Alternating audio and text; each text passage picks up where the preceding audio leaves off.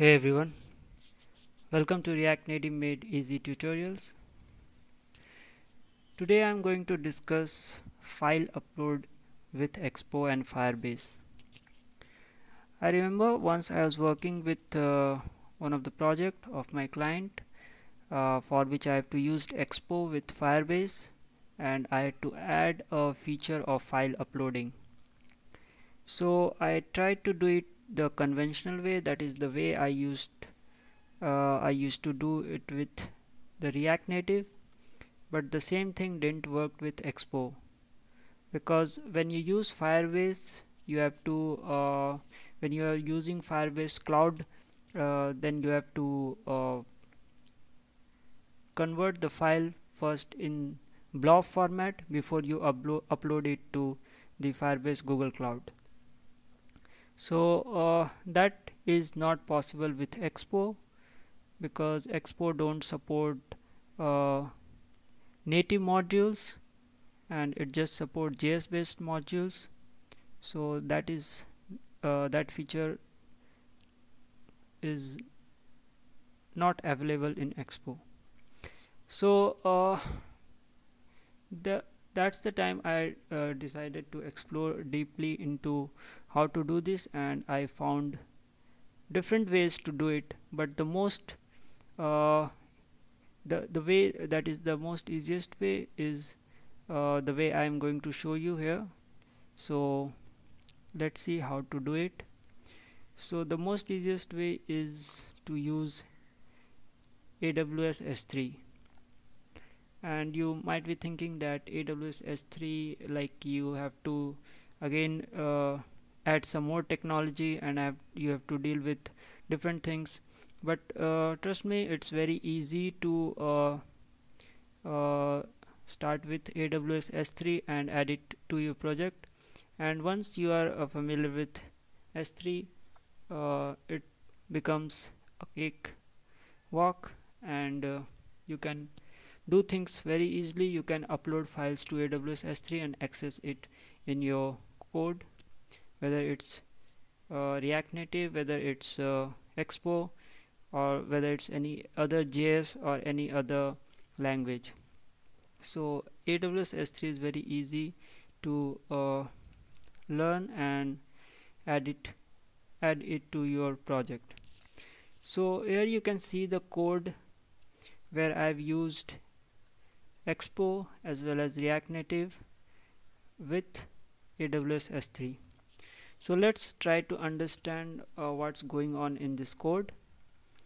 So the first thing that I've done here is that I've uh, configured options for Firebase. You can see here I have API key database URL project ID for Firebase. So these are the configs for Firebase. And next is the configuration for AWS S3 so these are the configuration for AWS S3 if you are new to AWS S3 just uh, go use this link to go to uh, my one of the tutorial where you will see how you can get started with AWS S3 so these are the configuration for S3 and after that the thing that uh, is being done is that I'm establishing a connection with uh, Firebase database uh, especially the newsfeed node. So the newsfeed node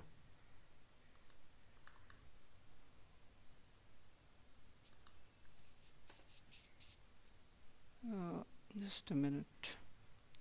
So the newsfeed node here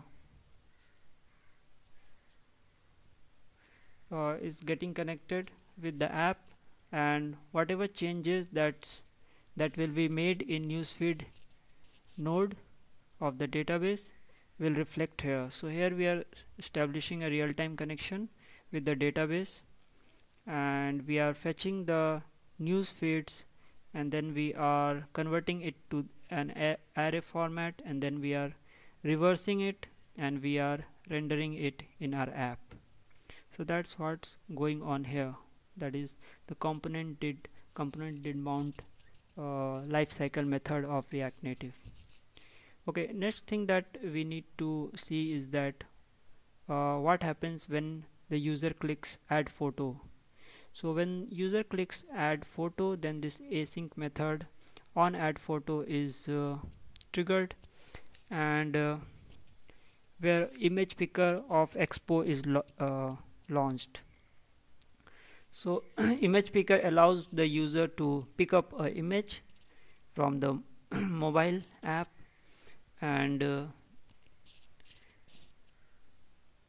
we are able to get the path of the image on the mobile and uh, we are able to also find whether it's what type it is because uh, it uh, image picker allows us to pick up the videos as well.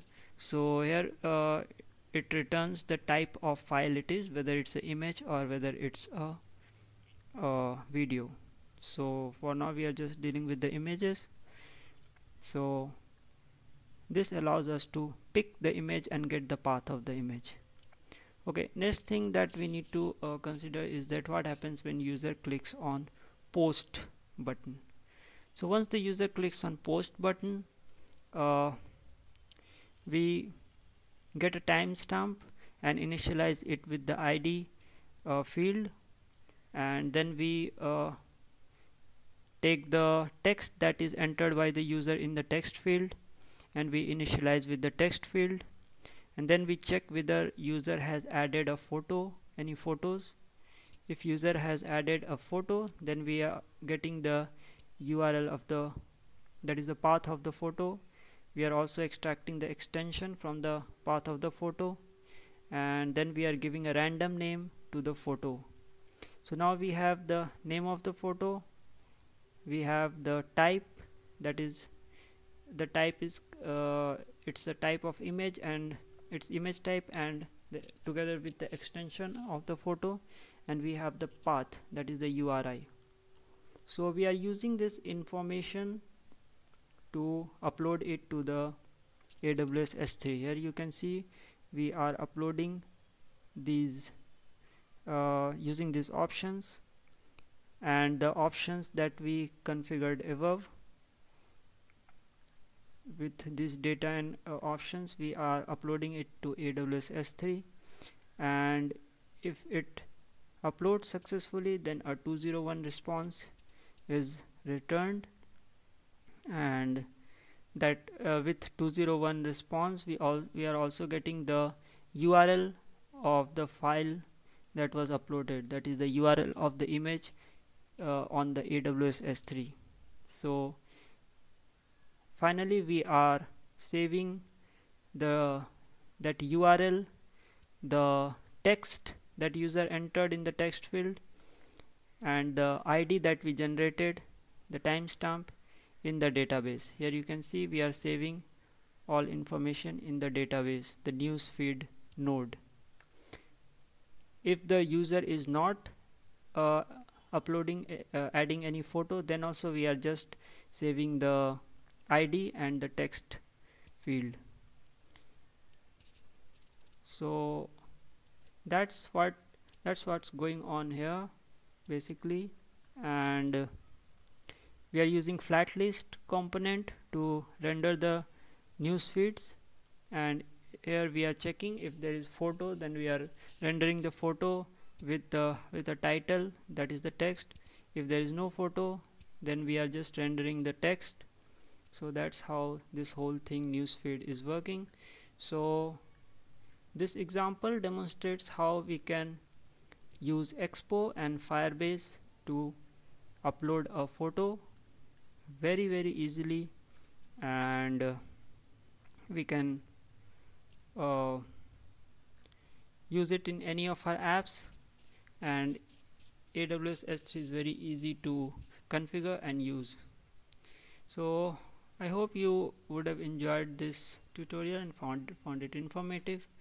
And if you want to see the demo of the working app you can just download it from here or from here and uh, if you like this video then make sure you do subscribe to our news channel uh, sorry uh, our newsletter and also our YouTube channel. And if possible support us by some small donations. Your small donations can make a big difference and can be very uh, supporting for us. Thank you guys have a nice day